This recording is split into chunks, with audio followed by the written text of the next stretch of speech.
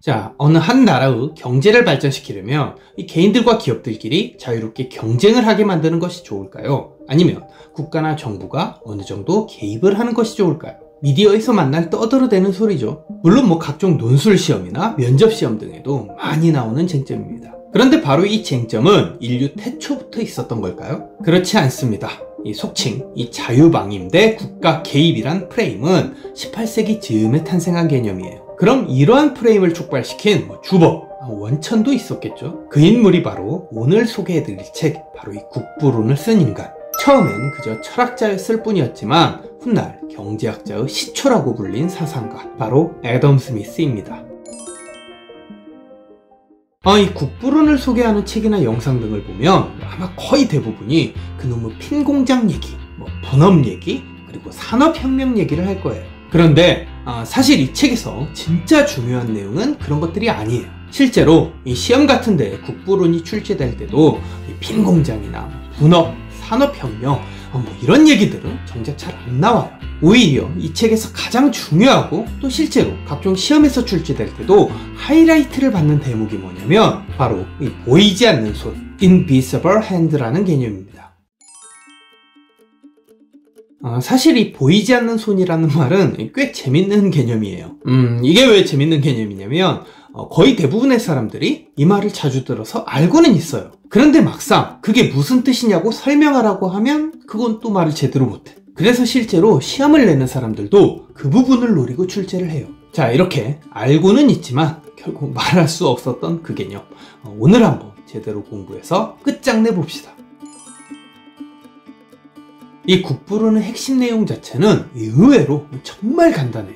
사회 구성원들이 각자 자신들의 이익을 최선으로 추구하도록 놔두는 것. 즉, 한마디로 사람들이 이 사익을 최대한 합리적으로 추구하게끔 국가가 방임해주면 그 결과로서 이 공익 또한 이 맥시멈 상태로 달성된다는 거예요. 어, 여기서 말하는 공익이란 개념은 어, 좀 복합적인 겁니다.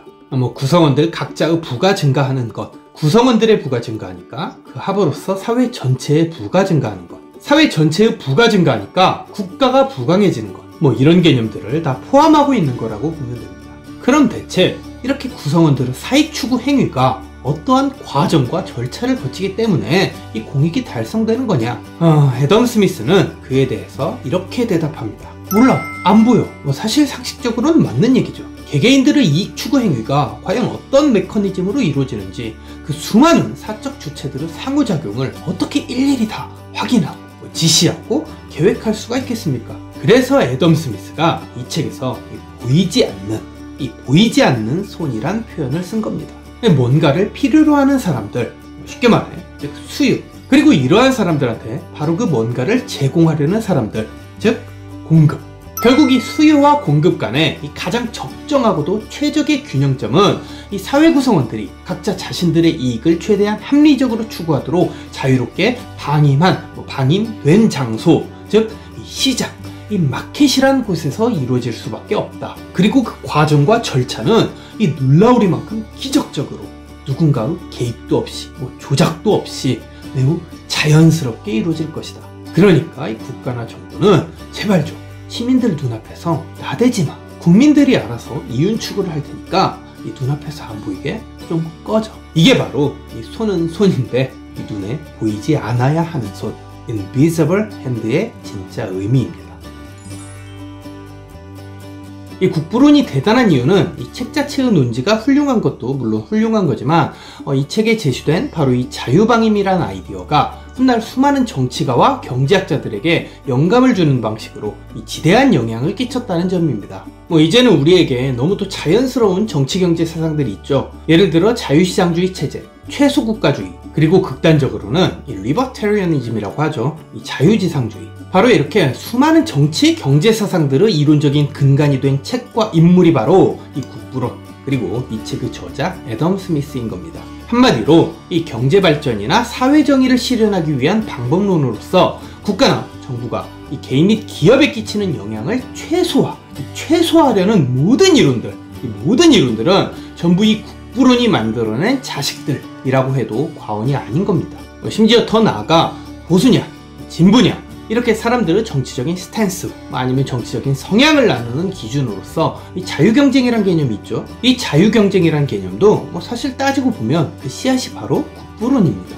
물론 이 후대 사상들은 애덤 스미스의 진짜 의도를 곡해한 거다. 뭐 이런 논란과 논의들이 있는 건 사실이지만요. 어, 쨌든 이 국부론이 아니었으면 탄생하기 힘들었을 아이디어들인 것 또한 부인하기 힘든 측면도 있죠. 그래서 이 책이 1776년에 출간됐음에도 불구하고 뭐 지금까지 거의 200년이 넘는 기간 동안 고전 필독서로 살아남은 데다 그야말로 거의 모든 시험들, 뭐 각종 논술 시험, 면접 시험, 국어 시험 지문 등에서 거의 압도적인 비율로 출제되는 것 역시 어, 이 책이 얼마나 대단한 아이디어를 보여준 책인지를 방증하는 거겠죠. 자, 그럼 마지막으로 여러분들이 강의 내용을 잘 이해하셨는지 뭐 나름 확인하는 차원에서 연습 문제 하나를 내고 영상을 마쳐볼까 합니다. 서술형 문제예요. 뭐 짧은 글쓰기 문제 또는 뭐 말하기 연습 문제라고도 볼 수 있겠죠. 제가 오늘 요약하고 이 정리해드린 내용을 반영해서 아주 쉽게 풀 수 있는 문제입니다.